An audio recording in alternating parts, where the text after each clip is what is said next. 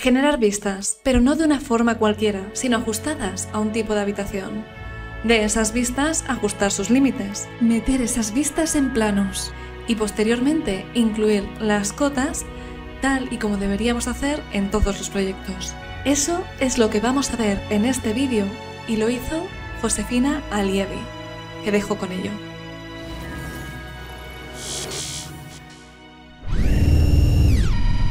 Muy buenas, jefes del BIM. Hoy vengo al canal acompañada, en este caso, de Josefina. Cuéntanos, ¿quién eres y a qué te dedicas? Hola Luisa, muchas gracias por la invitación. Un placer estar acá y un honor. Soy arquitecta, coordinadora y modeladora BIM. Trabajo para el estudio T124, eh, en el que hacemos documentación, documentación, dirección de obra y también documentación tercerizada. Si querés te puedo mostrar algunos proyectos uno de los primeros proyectos con los que arranqué a trabajar en este estudio eh, es un edificio de viviendas en Nueva York, eh, que teníamos que vincular dos edificios existentes la medianera y hacer una planta completa. Todo viviendas. En este caso los chicos me, contactaron porque yo ya estaba empezando con la metodología BIM y les interesaba un poco que, los ayude con esa parte. Eh, así después fueron surgiendo otros proyectos como este que es en Buenos Aires, Argentina. son cinco torres que son iguales, pero están vinculadas por un subsuelo en el que tienen distintos accesos eh, y bueno, y según la rotación que tenía cada proyecto, eh, cada, cada edificio, había que ir viendo cómo se, cómo se accedía a cada, a cada planta baja. Eh, esta era, bueno, la planta baja con todo su, subsuelo, cómo, cómo se accedía y una planta, planta tipo. Después también tenemos proyectos, eh, esto es una vivienda unifamiliar, son proyectos más chicos, pero siempre usando la metodología BIM, que le aporta mucho al, proyecto, y esos son plan, planos que hacemos generalmente, eh, que tenemos que usar todos los proyectos, que son los detalles de los baños, eh, también hacemos detalles de cocina, escaleras. este es otro proyecto, este es en Uruguay, bueno, es un proyecto bastante movidito. Hacemos también la coordinación de, las instalaciones, es una planta, no había mucha planta tipo porque eran todas muy diferentes entre sí, entonces también teníamos muchos baños y cocinas diferentes y tuvimos que hacer un montón de planos con, con, tipologías, otro edificio en, Montevideo, lo mismo, eh, vivienda, unifamiliar, multifamiliar, haciendo también los detalles de baños, de cocinas, y este es el proyecto que estamos trabajando ahora también en Montevideo, eh, que también tiene su particularidad porque son plantas eh, que van cambiando bastante nivel a nivel. Eso es un poco, bueno, todo lo que hacemos. O sea, que hacéis por un lado vivienda, pero una vivienda muy personalizada, por lo que estoy viendo, como muy precisa y sobre todo que van cambiando eh, las diferentes tipologías entre sí, ¿no? Pero también instalaciones. Sí, también. ¿Y tú estás metida en todo ese proceso? ¿En la arquitectura, en instalaciones, en todo? En la coordinación, sí, de todo en la coordinación de todo, para situarte, para situarme un poco, porque claro, te iba a preguntar qué experiencia habías tenido con las metodologías BIM, pero ya lo estamos viendo. ¿Y cuánto tiempo, claro, cuánto tiempo llevas trabajando con, con metodologías BIM, más o menos? Ya hace seis años. Seis años. Arranqué al principio con cursos de Revit, después una diplomatura en BIM, y ahí fue cuando empecé a, meterme más en, lo que es la metodología. Eh, y bueno, ahí fue cuando empecé a trabajar con, el estudio 324 y bueno, siempre como buscando alguna cosita más y es que como caí en especialista 3D para hacer la especialización en, en Dynamo Python. Ya que has nombrado la especialización, Josefina, sabes que soy una cotilla.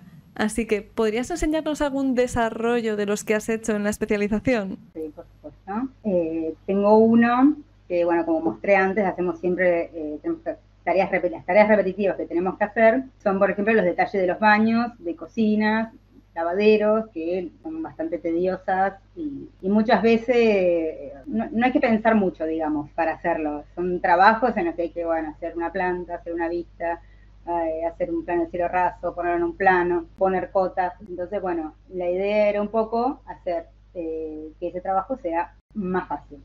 Bueno, es trabajo que es repetitivo, pero que es hiper necesario, ¿no? Entonces es toda la documentación que hay que hacer para un proyecto de ejecución y para la construcción, ¿no? Bueno, yo primero este Dynamo lo que hice fue crear todas las pistas de los baños de los baños, yo le tengo que indicar qué baños, según el, nombre de, habitación, le tengo que indicar qué tipo de, vista va a llevar en, las elevaciones, en las plantas, en los cielos rasos, qué, plano voy a usar, qué crop le voy a hacer a las vistas de las plantas, cómo se llama el, el baño que yo quiero, vamos a hacer acá el baño principal, el baño que yo quiero hacer, ¿eh? todo bien, aquí todo bien. Esto lo ponemos a correr y vamos a ver que acá arriba tendría que aparecer plantas, rasos y vistas de los baños que le acabo de indicar. O sea que ahora mismo estás haciendo el primer script que es para generar las vistas. Exacto, acá ya me generó, por ejemplo, baño 101, me generó la planta, las vistas y el cielo raso. Después seguimos con un script que lo que hace es ajustar el crop de las vistas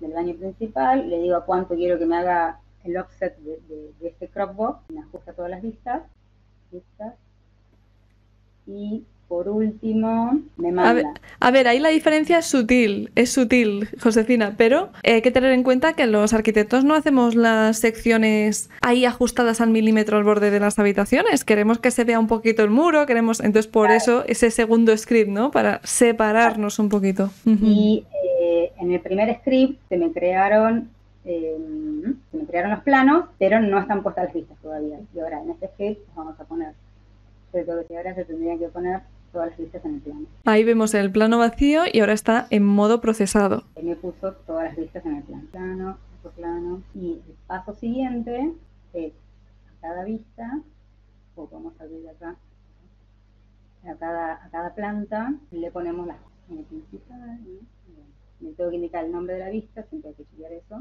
y le va a poner las cuotas todos estos baños que se llaman baño principal las que se llaman baño principal. Esto de las cotas es una lucha que sigue teniendo muchos sitios. Hemos estado testeando en especialista 3D aplicaciones, no lo hacen bien. Bueno, no lo hacen como lo está haciendo ahora mismo Josefina. Vamos a decir la realidad. Y ahí le puso las cotas a todas las plantas. Toma, tenemos eh, algunas cotas que las toma al, eje del, artefacto y otras que las toma a, la cara. La cara, por ejemplo, de estas mesadas o encimeras. Gracias por la aclaración. Es que a veces cuando me lo decís con... Es que el español varía mucho. Y entonces tú decías mesadas y yo decía, ¿qué me está diciendo? Para que llegamos a la conclusión de que eran encimeras. Pero fíjate que la cota está... Hay varios niveles de cota además, lo que tú estás poniendo. Claro tenemos primero todo lo que eh, acota los artefactos sanitarios y después lo que acotan los muros.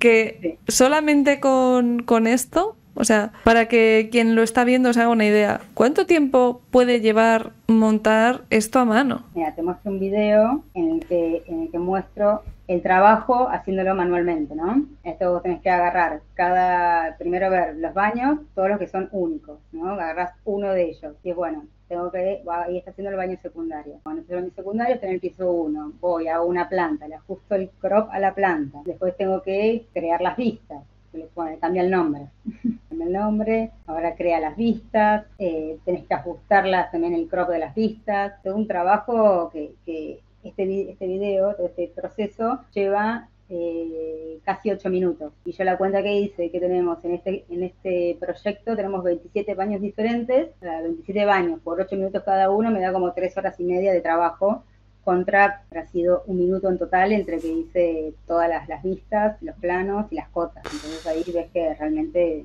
eh, vale la pena, vale la pena hacer el esfuerzo y, y que también creas estos scripts porque te, te, mucho el trabajo. Tres horas y media de trabajo. Eso si queda todo bien a la primera y si no cambia nada. Ah, no, por supuesto, sí. Y que no te falte que, te hayas olvidado de, de hacer algún plano, porque eso también te puede pasar. Siempre la programación es mucho más fiable que hacerlo vos a mano. Tal vez te olvidaste de un baño y, y queda fuera de la documentación. Efectivamente.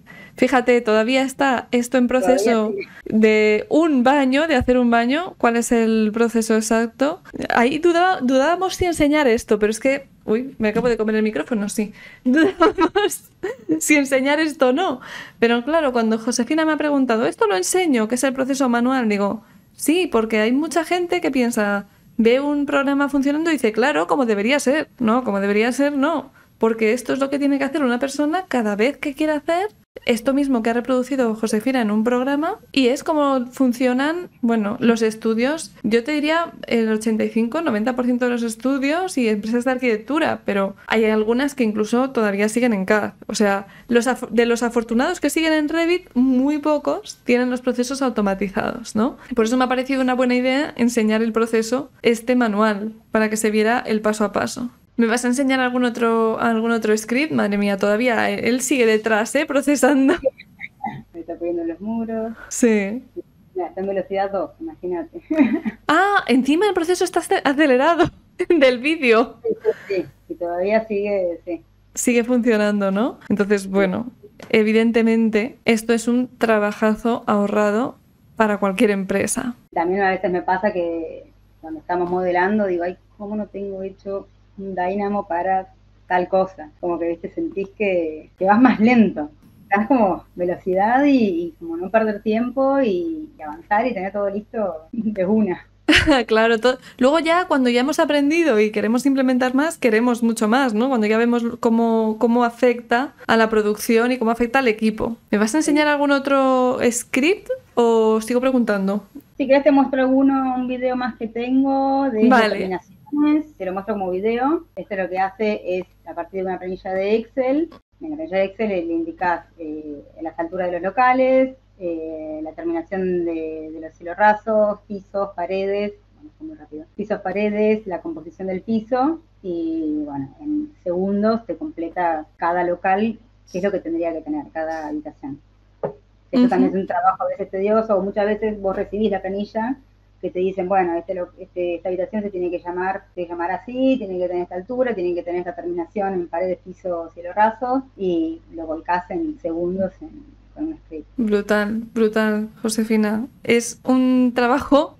A ver, acércate un segundo otra vez al baño para que vean cómo quedado las cotas. Pues eso. Así, pero con todos los planos. Así que te hago una pregunta. ¿Qué crees que podría aportar un profesional de la arquitectura como tú que programa frente a otros profesionales que tal vez manejan Revit, pero que no tienen estas capacidades de automatizar? Principalmente el tiempo, el tiempo que, que ganás, que lo puedes dedicar a cosas más importantes, porque por ejemplo, eh, armar estos planos que antes no tenés que estar pensando demasiado, digamos, son tareas repetitivas eh, que las puede, que con ese tiempo ganado puedes estar resolviendo detalles constructivos, cosas más importantes, digamos, poder avanzar en el proyecto eh, como más en detalle. Tiempo ahorrado principalmente, o sea que tú, tú ves ahí donde está el fuerte. Tiempo ahorrado y, también el desgaste, a veces también está bueno eh, hacer estos scripts para, para las tareas que son, bueno, estas tareas que son así repetitivas, también te da como a vos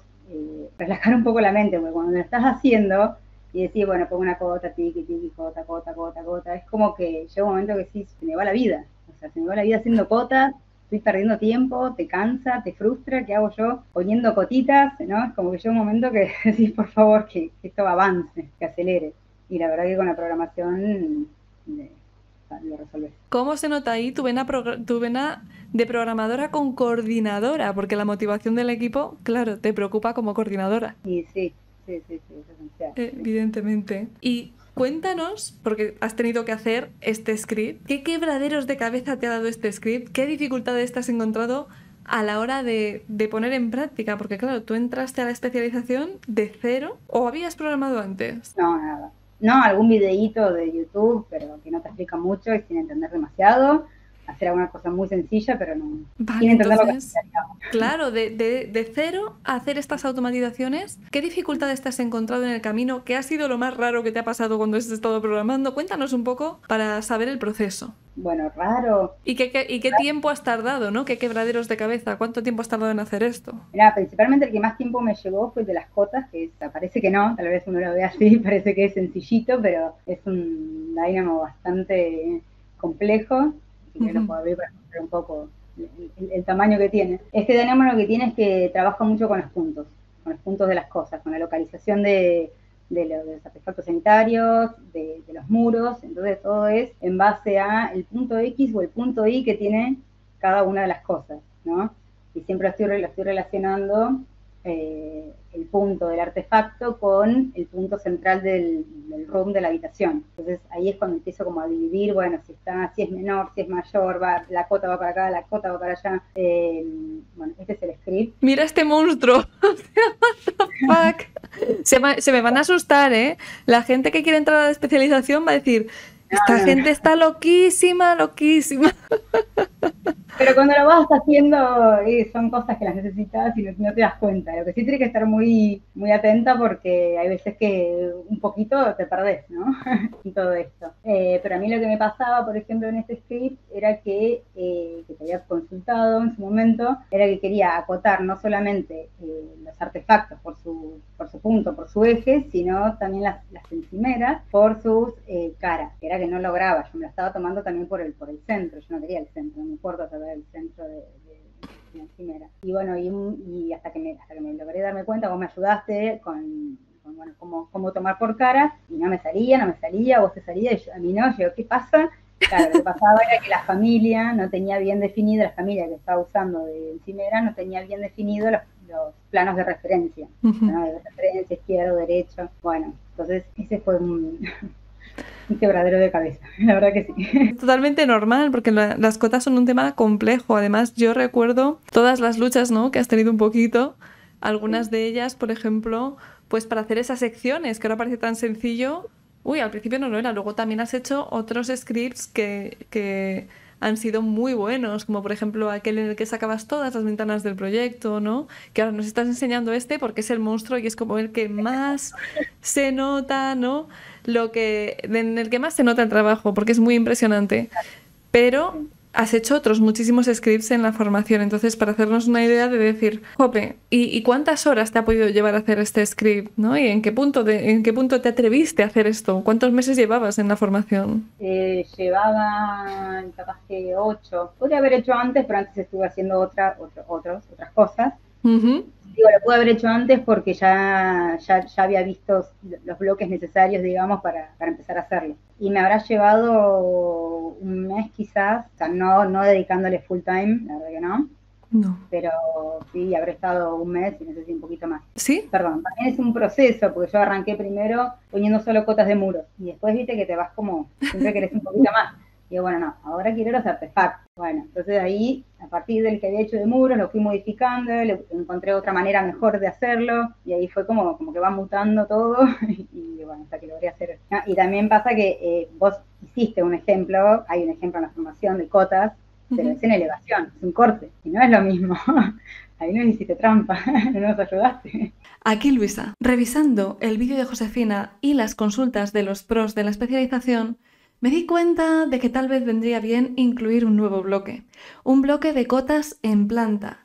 Y ya en septiembre, en la nueva edición, va a estar incorporado a la especialización. Te dejo un cachito para que lo veas. Por supuesto, si ya estás en la especialización, en septiembre lo vas a tener. Vamos a ver el tema de hacer cotas en planta no solo en una planta, en varias plantas a la vez y además de varias habitaciones, agrupadas por habitación. Esta es un poco la pinta de lo que nos va a quedar una vez procesado el Dynamo para que lo tengas en cuenta.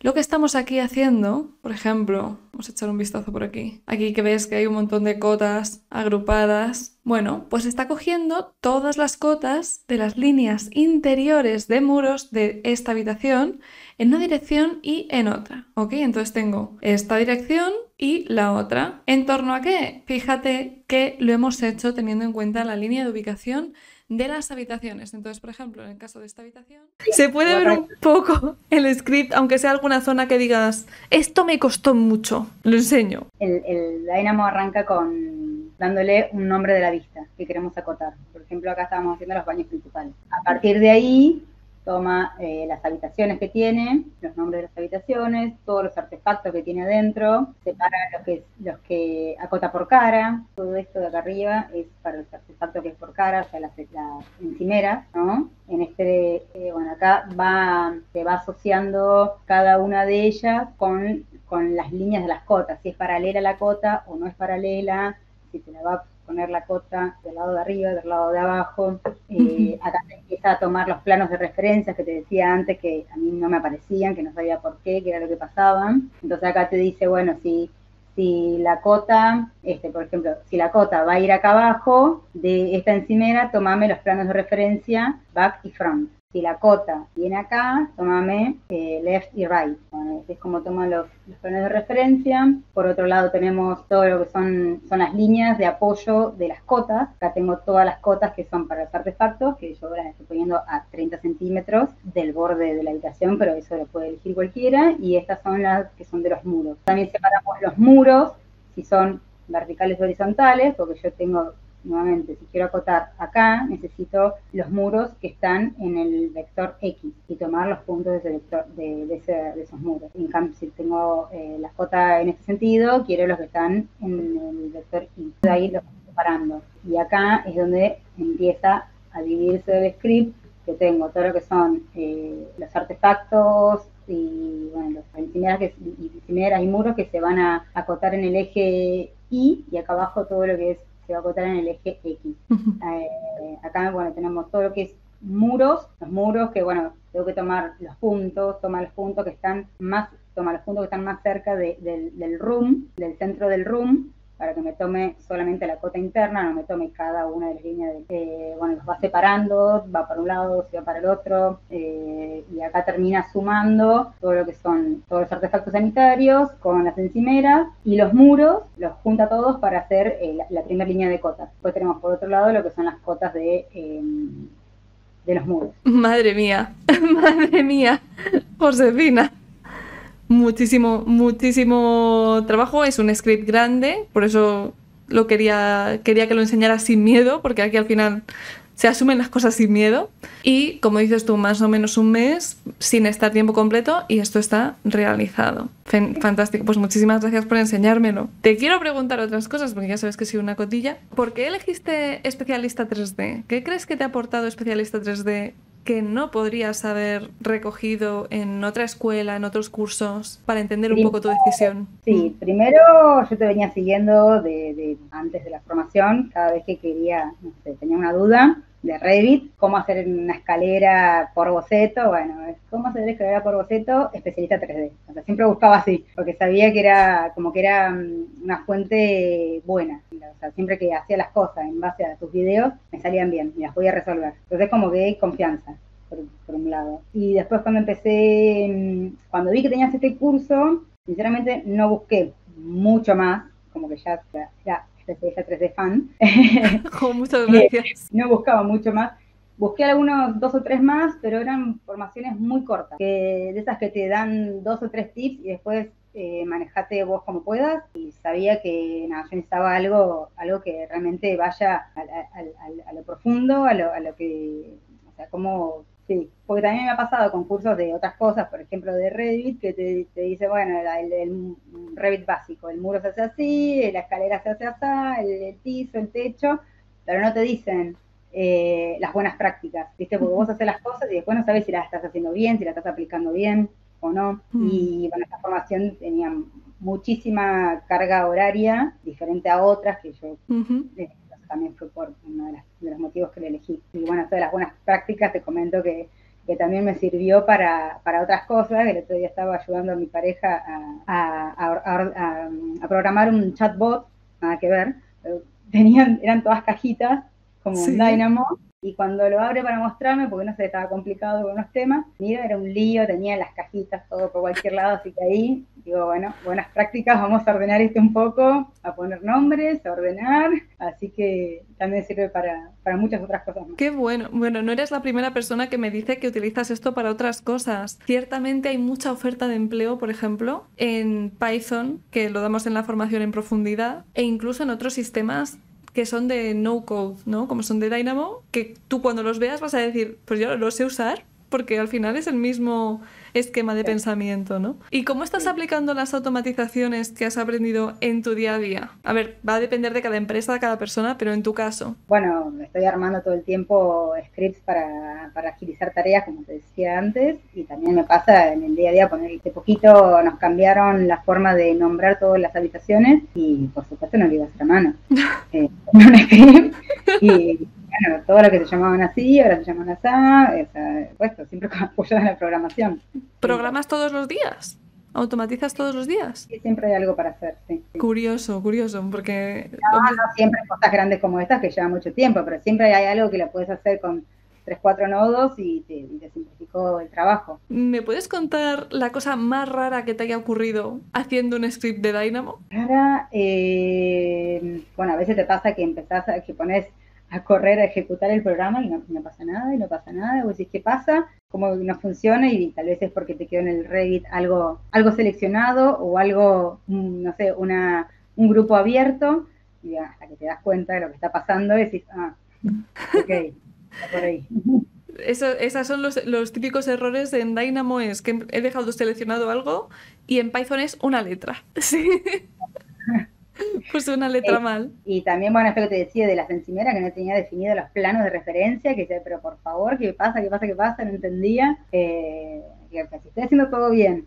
Bueno, cuando entré a la familia, hasta que me di cuenta, entré a la familia, era, era sencillo al final. Claro, por eso mucha gente de la gente que os formáis sois coordinadores o son modeladores que quieren aspirar a coordinar o a ser BIM managers, ¿no? Y es que tiene una parte muy importante Dynamo de estandarización, ¿no? El uso, bueno, como dices, ¿quién te lo enseña? Que hay gente que dice, vamos a usar Dynamo y te enseña a usar listas. Pero si realmente quieres entrar en profundidad, tiene una parte muy gorda de estandarización. Sí, bueno, y todo esto que vos explicás en el curso, o sea, de, de entender la lógica de cada cosa, qué hace un codeblog, qué es, cómo es una lista, cómo se organizan, eso es clave para entender el funcionamiento en general, ¿no? Mm. No puedes avanzar. ¿Tú lo recomendarías a otra persona que esté pensando en formarse en esto? Sí, recomendaría, sí, por supuesto. Sin sí. pensar. vale, muchas gracias, Josefina. Josefina, sí, ¿hay algo más que quieras añadir o que me quieras contar? Eh, muchas gracias por la entrevista eh, y tengo que seguir adelante con la formación. Todavía estoy, estoy en el capítulo, en el bloque 14 me quedé.